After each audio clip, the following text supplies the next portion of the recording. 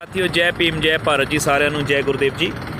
ਸਾਥੀਓ ਕੁਝ ਦਿਨ ਪਹਿਲਾਂ ਗੁਰਪੰਤ ਸਿੰਘ ਪੰਨੂ ਨਾਮ ਦੇ ਇੱਕ ਸ਼ਖਸ ਨੇ ਭਾਰਤੀ ਸੰਵਿਧਾਨ ਤੇ ਭਾਰਤੀ ਤਿਰੰਗੇ ਦੀ ਬੇਅਦਬੀ ਕੀਤੀ। ਭਾਰਤੀ ਤਿਰੰਗੇ ਨੂੰ ਉਹਨਾਂ ਨੇ ਜਲਾਇਆ ਵਿਦੇਸ਼ ਦੀ ਧਰਤੀ ਤੇ। ਸੋ, ਜਿਸ ਤੋਂ ਬਾਅਦ ਬਹੁਜਨ ਸਮਾਜ ਦੇ ਲੋਕਾਂ ਦੇ ਮਨਾਂ ਵਿੱਚ ਕਾਫੀ ਜਿਹੜਾ ਰੋਸ ਪਾਇਆ ਜਾ ਰਿਹਾ।